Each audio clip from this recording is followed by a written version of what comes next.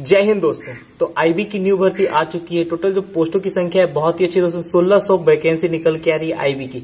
IB में दोस्तों जो वैकेंसी निकली हुई है, वो आपकी सिक्योरिटी की वैकेंसी निकली हुई है, आपकी एमटीएस की भर्ती निकली हुई है। टोटल 1600 वैकेंसी है। आईबी क्या होता है? तो आईबी दोस्तों होता है इंटेलिजेंस ब्यूरो जैसे कि हम लोग की सीबीआई होती है, ठीक है रॉ होता है। वैसे एक आईबी भी होती है दोस्तों। वो देश में जो भी खुफिया होता है दोस्तों, जो कि आपका अंदरूनी होता है, इसको खोज के निकालना पड़ता है, ठीक है। छुप के जो काम होता है, इसको खोज के निकालना पड़ता है। ड्रग्स सप्लाई होता है दोस्तों, लड़कियों का सप्लाई होता है। तो उस चीज़ को खोज के जो निकालने का काम करता है, वो आईबी करता है टेरिस्ट को पकड़ता है दोस्तों, ठीक है? तो ऑनलाइन जो ट्रैफिकिंग होता है, उसको पकड़ता है तो वो एक विभाग है हमारा, जो कि आईबी कहा जाता है जिसे उसमें दोस्तों आपकी वैकेंसी निकली हुई, टोटल जो वैकेंसी की संख्या है, वो 1600 वैकेंसी निकल के आ रही है ऑल ओवर इंडिया के लिए दोस्तों। ये हमारे देश का खुफिया विभाग है और इसमें 1600 वैकेंसी निकल के आ रही है। ऑल ओवर स्टेट की दोस्तों अलग अलग वैकेंसी है। तो आइए इसके नोटिफिकेशन के चलते हैं और आपको पूरी जानकारी हिंद दोस्तों, आपकी न्यू वैकेंसी आ चुकी है, आप देख सकते हैं। आपकी जो वैकेंसी निकली हुई है, किसमें निकली हुई है दोस्तों? तो आईबी में निकली हुई इंटेलिजेंस ब्यूरो की वैकेंसी है मिनिस्ट्री ऑफ़ होम अफेयर्स की। ठीक है, ये जो वैकेंसी है टू टाइप की वैकेंसी है। देखिए, आपकी सिक्योरिटी असिस्टेंट की वैकेंसी निकली हुई है और आपकी मल्टीटास्किंग स्टाफ की वैकेंसी निकली हुई है। ठीक है, इसके लिए आपको तो मल्टीटास्किंग स्टाफ के लिए अप्लाई करोगे तो मैट्रिक पास होना ज़रूरी है और सिक्योरिटी असिस्टेंट के लिए भी दोस्तों आपका मैट्रिक पास होना ही ज़रूरी है। जिसकी संख्या सोलह सौ करीब वैकेंसी ऑल ओवर इंडिया में दोस्तों, अगर आप हो तो इस फॉर्म को अप्लाई कर सकते हो। आइए देखते हैं दोस्तों, हर स्टेट की अपनी अलग अलग वैकेंसी है और अगर आप उस वैकेंसी में अप्लाई करना चाहते हो तो स्टेट का आपको लोकल लैंग्वेज आना चाहिए। अगर आप दोस्तों अगर स्थला से हो तो आपको दोस्तों क्या क्या आना चाहिए? देखिए, यहाँ पे सारा लैंग्वेज का दिखला हुआ है। अहमदाबाद से हो तो आपको गुजराती आनी चाहिए, ठीक है? जहाँ से भी आप फॉर्म अप्लाई करोगे। देखिए स्टेट वाइज अगर वैकेंसी निकल रही है तो स्टेट वाइज आपका कटअप भी जाएगा। ये बात आपको याद रखना है तो ये बहुत ही अच्छी वैकेंसी है। अगर इसमें चाहो तो आपका नौकरी बहुत ही आसानी से हो सकता है। देखिए, आप अगर भुवनेश्वर से हो मतलब उड़ीसा से बिलोंग करते हो तो देखिए हमारे भुवनेश्वर से भी हो तो आप फॉर्म को अप्लाई कर सकते हो एमटीएस और आपकी सिक्योरिटी असिस्टेंट की सबकी वैकेंसी है, आराम से। लेकिन आपको लोकल लैंग्वेज वहाँ का उड़िया आना चाहिए, भोपाल से हो तो आपको हिंदी आना चाहिए। तो आप जहाँ से भी चाहो, वहाँ से फॉर्म अप्लाई कर सकते हो, लेकिन वहाँ का लोकल लैंग्वेज आपको आना चाहिए। ये देख सकते हैं, पूरा मैं दोस्तों वैकेंसी का पूरा डिटेल्स यहाँ पे दिया हुआ, हर स्टेट की अलग अलग वैकेंसी है। इसका जो दोस्तों पीडीएफ है मेरे टेलीग्राम चैनल पे आपको अवेलेबल हो जाएगा तो आप वहाँ से आराम से इसको देख के अपने स्टेट की वैकेंसी देख के इस फॉर्म को अप्लाई कर सकते हो। ये आपकी इंटेलिजेंस ब्यूरो की वैकेंसी है दोस्तों, बहुत ही शानदार वैकेंसी है।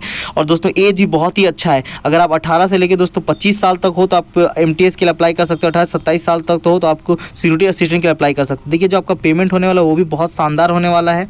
आपका जो पेमेंट होगा दोस्तों लेवल थ्री का आपको पेमेंट मिलेगा इक्कीस हज़ार सात सौ से लेकर उनसठ हज़ार एक सौ तक और एम टी एस में हो तो अट्ठारह हज़ार से लेकर आपका छप्पन हज़ार नौ सौ तक आपको पेमेंट होने वाला है। पे स्किल में दोस्तों अलाउंस वगैरह बीस परसेंट आपको मिलेगा, देख सकते हैं यहाँ पे यहाँ पे, ठीक है?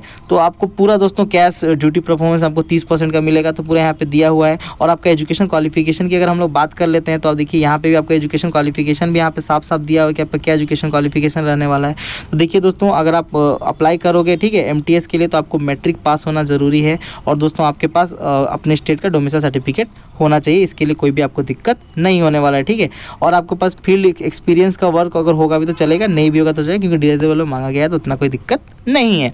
उसके बाद बात कर लेते हैं एज लिमिट की। तो दोस्तों, अगर आप सिक्योरिटी असिस्टेंट के लिए अप्लाई करोगे तो अठारह से लेकर सत्ताईस साल तक हो तो आप इस फॉर्म को अप्लाई कर सकते हो। और अगर दोस्तों आप ऐसे हो नॉर्मल तो अठारह से पच्चीस साल तक इस फॉर्म को अप्लाई कर सकते हो एमटीएस के लिए अगर अप्लाई करोगे तो। एज रिलेक्सेशन आपको मिला है ए सी में। दोस्तों ए आपका जो है ए सी को आपको पाँच साल का मिल रहा है, ठीक है? और अगर आप ओबीसी से बिलोंग करते हो, ठीक है? तो आपको ये तीन साल का मिल जाएगा एज ठीक है? इसमें भी आपको आराम से रिलेक्सेशन मिल जाएगा तो कोई भी आपको दिक्कत नहीं होने वाला है। अब बात कर लेते हैं दोस्तों इसके एग्ज़ाम में। इसका मेन जो दोस्तों आपका सिलेक्शन होगा, वो आपके एग्ज़ाम के बेस पे ही होने वाला है, ठीक है? इसका कोई भी फ़िज़िकल नहीं है आपका तो सिर्फ़ इसके एग्ज़ाम के बेस पे आपका सिलेक्शन होगा। इसके एग्ज़ाम तीन पार्ट में होने वाला देखिए आईबी इंटेलिजेंस ब्यूरो में है दोस्तों आपका नौकरी होने वाला है तो एग्ज़ाम भी उसी टाइप से आपका होने वाला है। तो एग्ज़ाम आपके तीन टाइप्स में होगा, ठीक है? टेबल वन टेबल टू और टेबल थ्री के टाइप में आपका एग्ज़ाम होने वाला है। टेबल वन में क्या रहने वाला देखिए टेबल वन में जो आपका एग्ज़ाम होगा दोस्तों, देखिए, इसमें आपका जनरल अवेयरनेस नंबर एप्टीट्यूड ठीक है? इंग्लिश लैंग्वेज जनरल स्टडी इस टाइप का होगा। फोर बाई वन का माइनस मार्किंग है, ठीक है? वो भी आप देख लीजिएगा, सौ नंबर का एग्ज़ाम होगा, एक घंटा का आपको टाइम मिलने वाला है, ठीक है? पहले वाला में। उसके बाद दोस्तों, अगर आप टायर टू में जाओगे तो टायर टू में आपका क्या होने वाला है? तो देखिए टायर टू में आपका एसए और दोस्तों आपका ऐसा सिक्योरिटी असिस्टेंट और दोस्तों एमटीएस के लिए क्या होने वाला है? तो देखिए दोस्तों 500 वर्ड दोस्तों आपको लोकल लैंग्वेज से दोस्तों आपको अपने इंग्लिश लैंग्वेज में ट्रांसलेट करना है। ये 40 नंबर का होने वाला एक घंटा का इसके लिए भी आपको टाइम मिल जाएगा। उसके बाद दोस्तों टायर आपका जो टायर थ्री होने वाला जो टायर टू और ये आपका इसके लिए होगा। क्या बोलते हैं? सिक्योरिटी असिस्टेंट के लिए। उसमें आपको स्पोकन इंग्लिश दोस्तों ये लोग आपका कराएँगे, ठीक है? स्पोकन इंग्लिश आपको आना चाहिए इंटरव्यू आपका होगा आपके सिक्योरिटी असिस्टेंट के लिए। और थर्ड में दोस्तों आपका पर्सनल इंटरव्यू होने वाला है, पचास नंबर नंबर का, ये आपके दोनों के लिए होगा, ठीक है? एमटीएस के लिए भी होगा और आपके सिक्योरिटी असिस्टेंट के लिए भी होने वाला है। उसके बाद बात कर लेते हैं और आगे। तो अप्लाई कैसे? देखिए, इसका अप्लाई मोड जो होने वाला ऑनलाइन होने वाला है, इसके नोटिफिकेशन में साफ़ साफ़ लिखा है कि जिसका अप्लाई होगा, वो कब से होगा। तो पाँच ग्यारह दो से इसका अप्लाई होने वाला है। लास्ट इसका जो अप्लाई रहेगा, पच्चीस ग्यारह दो तक रहने वाला है। और रजिस्ट्रेशन का दोस्तों, जो पीरियड है, वो वही आपका सेम रहने वाला है, ठीक है? पाँच ग्यारह दो से लेकर पच्चीस ग्यारह दो तक रहने वाला है। और इसमें तो दोस्तों फ़ीस है, वो आपको मैं बता दूँ, पचास रुपये तो आपके एग्ज़ाम फ़ीस लग जाएँगे। और दोस्तों, एक सौ पचास रुपये आपके प्रोसेसिंग चार्ज सब मिला के आपका टोटल पाँच सौ रुपया पड़ेगा अगर आप जनरल कैटेगरी से इस फॉर्म को अप्लाई करोगे।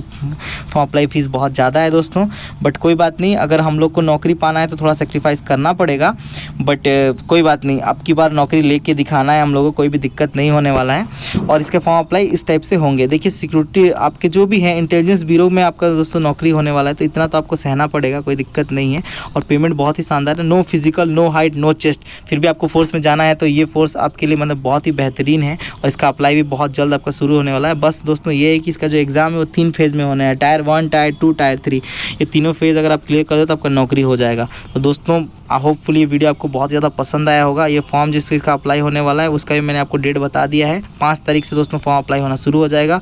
और कौन से वेबसाइट से फॉर्म अप्लाई होगा तो आप देख सकते हैं, इस ये दोनों वेबसाइट से फॉर्म अप्लाई होना शुरू हो जाएगा। तो होपफुली ये वीडियो आपको अच्छा लगा होगा।